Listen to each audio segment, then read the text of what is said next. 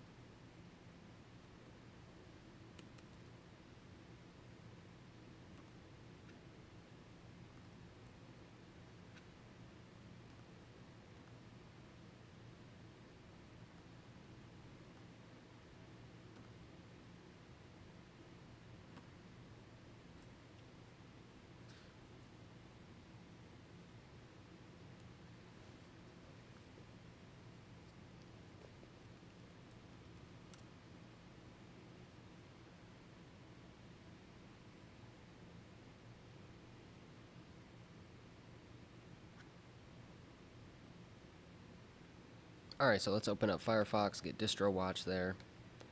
Let's open up Firefox, go on to DistroWatch, and pick a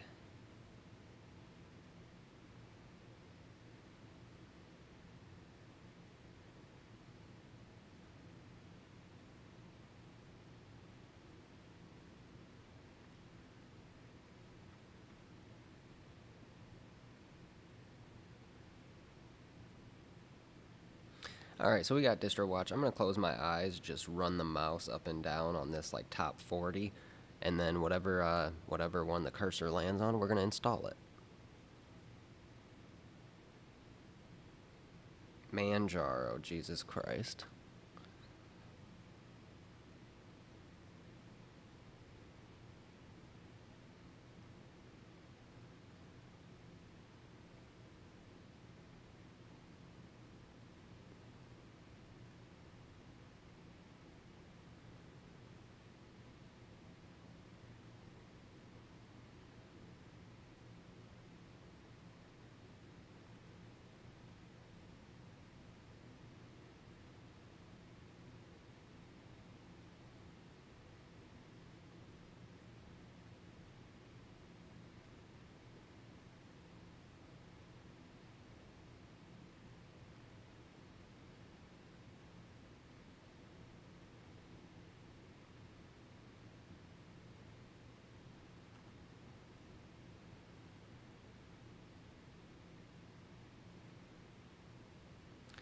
So while that's installing, we're going to jump over to a different workspace.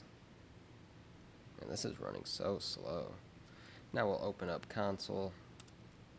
What you're going to want to do is install QEMU desktop and I think on Fedora it's just QEMU and then also Virt Manager.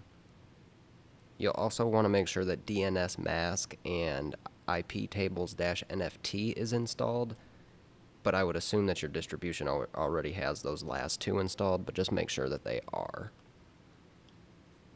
So we'll run sudo dnf. Let's make this a little bigger. sudo sudo dnf install qemu virt manager dnsmasq and ip tables dash nft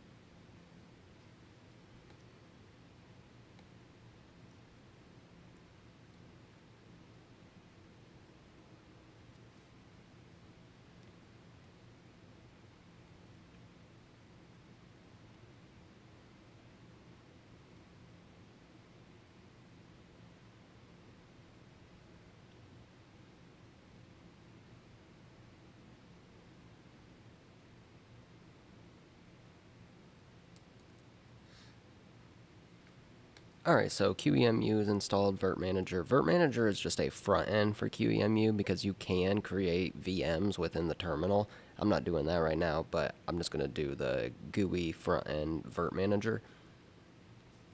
But Manjaro is still fucking downloading because the internet here is horrible.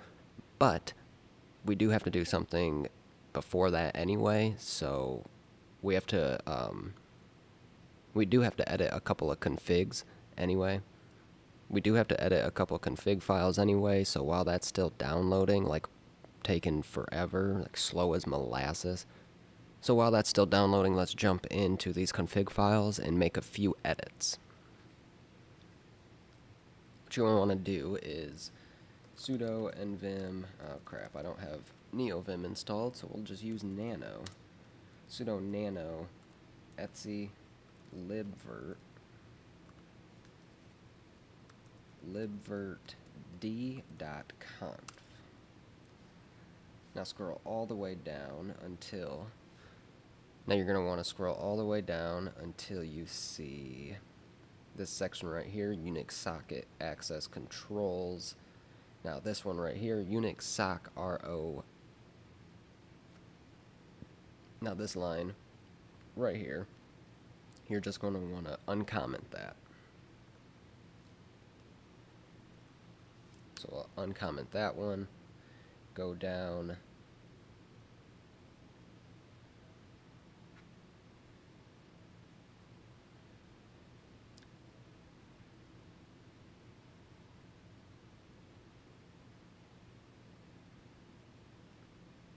Actually, my bad, I fucked up on that. Comment that one back. You want to go up here, Unix sock group, uncomment that for libvirt and then go down to this line right here and uncomment that. Now just write and quit. Now you can push uh, you can push up on your up arrows. If you push up on your up arrow, you're just going to delete the last one, the libvirtd.conf, and then qemu.conf. Now you're going to want to scroll all the way down until you see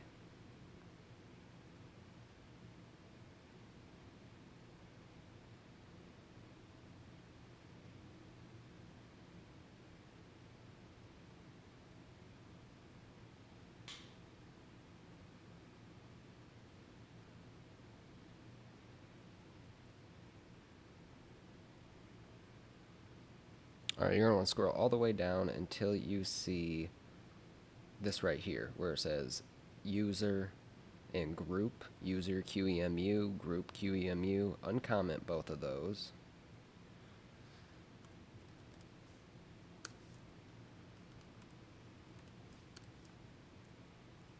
But then you're also going to want to delete QEMU and put in your username. So what was my username for here? Oh yeah, Linus, because this was a VM I was using to, you know, show you guys um, the Linus tool. If you haven't seen that video, check it out. And then also group Linus. Usually that would that's just going to be your username, right? Um, that's going to give you permission to create the virtual machines. Write that, quit, and then you can exit out of the terminal. Let's go see if fucking Manjaro has downloaded yet. No, there was an error. Why? Why?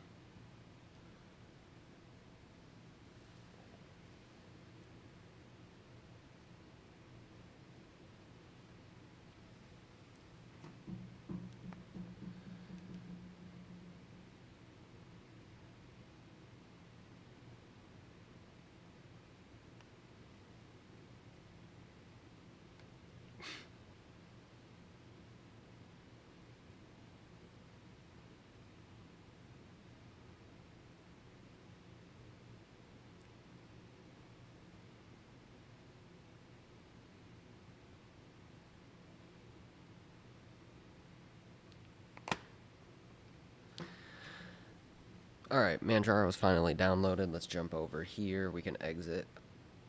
We can exit out of Firefox. We're going to open up Virt Manager.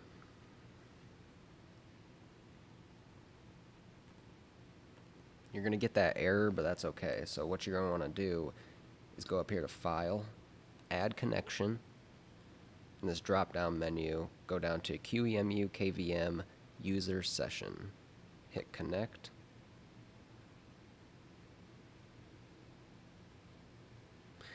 Now this does say that a lot of like networking options and whatnot are not configurable through the user session. The other session, just the regular QEMU slash KVM, I believe is they get created under root. I haven't really messed with that all personally, but yeah, the networking options aren't. Um, yeah, there's not a plethora of networking options and whatnot through this, but this is just a great way to just whip up VMs really quickly if you want to test out a new distribution or if you're getting that distro hopping itch. This is a great way to um,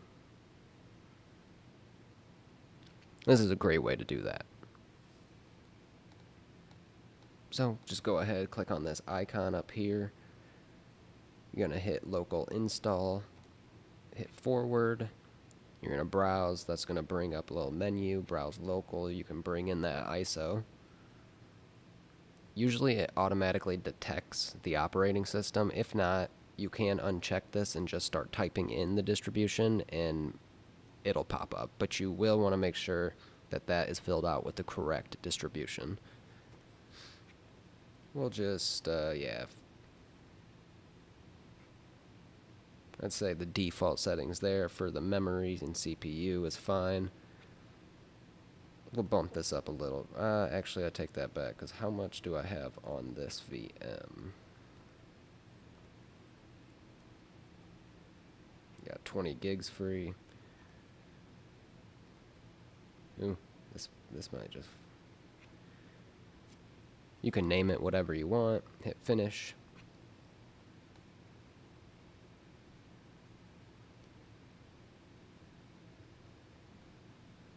And right there, we've got the Manjaro boot screen. We can boot with open source drivers. Now this is obviously going to be a little laggy for me. The, the VM, I'm, so I'm installing a VM within a VM. So it's going to be kind of slow and whatnot, but that's fine. It doesn't matter for you guys because it's just going to automatically cut. Because it's just, and that's fine because it doesn't matter for you. Which that doesn't really matter because, now yeah, it's really slow since it's a VM within a VM, but that's fine because for you guys it's just going to cut right to it.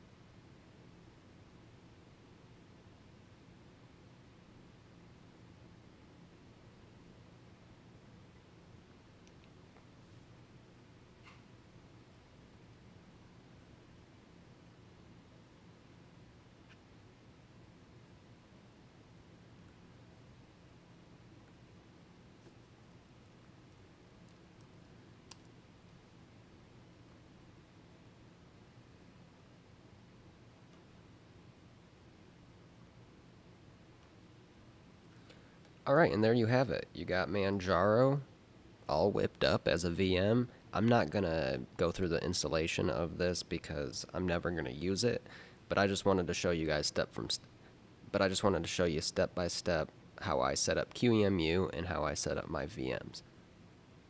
I hope you enjoyed the video. If you did, consider hitting that like button, and if you like this kind of content, consider subscribing because we have a bunch more content coming your way.